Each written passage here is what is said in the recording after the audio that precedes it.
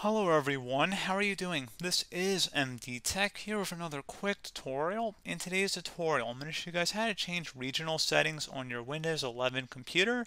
So this should hopefully be a pretty straightforward tutorial guys, and without further ado, let's go ahead and jump straight into it. So all you have to do is right click on the Windows Start button and select Settings.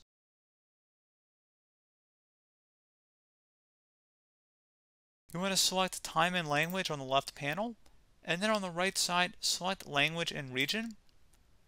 At this point, you can go ahead and change your region settings by going down a little bit farther down on this page. And country or region, you can click inside this drop down here and select your country or region.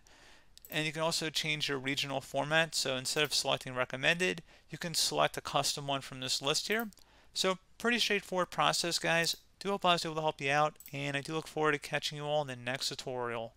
Goodbye.